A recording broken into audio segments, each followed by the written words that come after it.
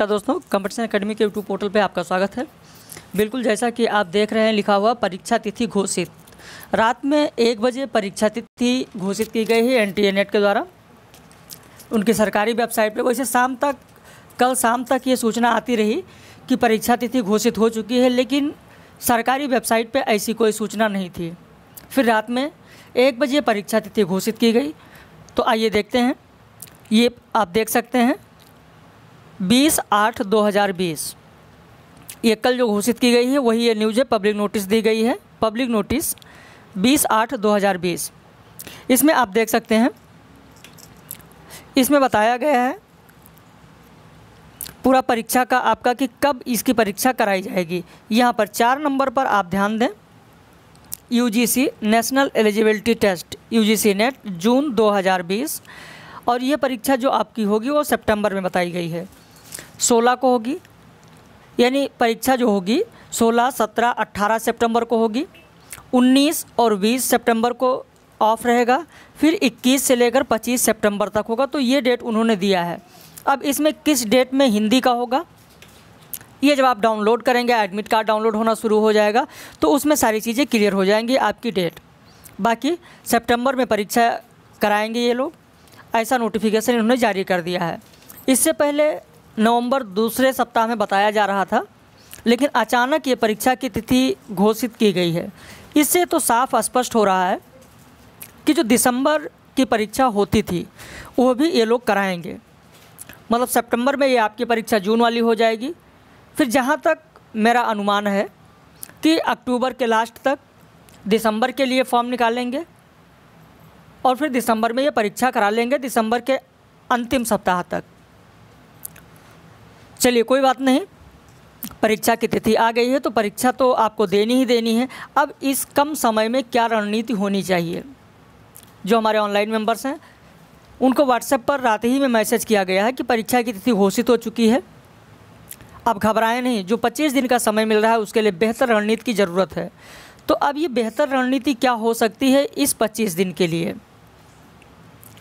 तो इसके लिए यही रणनीति है कि प्रत्येक इकाई और संपूर्ण पाठ्यक्रम की प्रैक्टिस सेट करनी चाहिए आपको। यानी प्रत्येक दिन दो टेस्ट सीरीज़ हम कराएँगे आपको। एक टेस्ट सीरीज़ मैं करा दूँगा और दूसरा टेस्ट सीरीज़ आपको खुद करना है।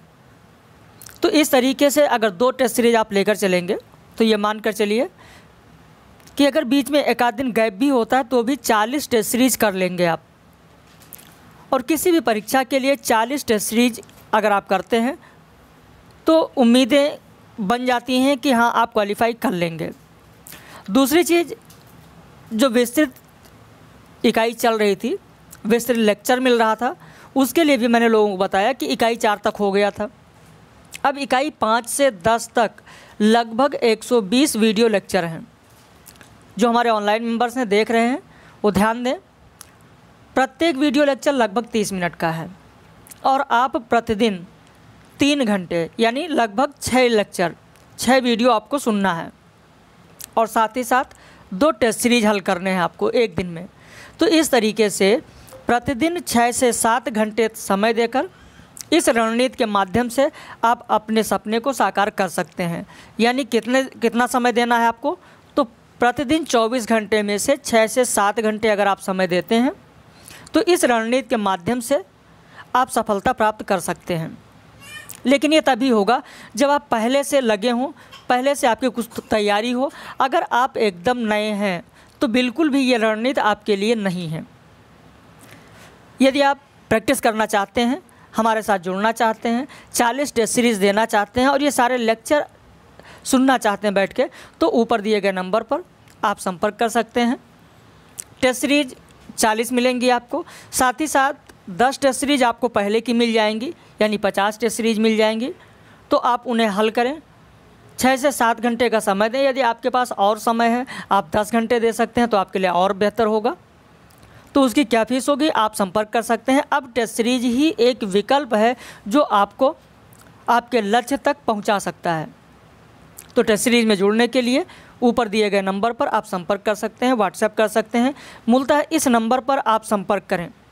ये जो ऊपर नंबर लिखा हुआ है, इस नंबर पर आप संपर्क करें। फ़ीस की जानकारी, सारी डिटेल सब कुछ आपको यहाँ पर मिल जाएगी। बाकी आप मेहनत करें, परीक्षा के लिए तैयार रहें।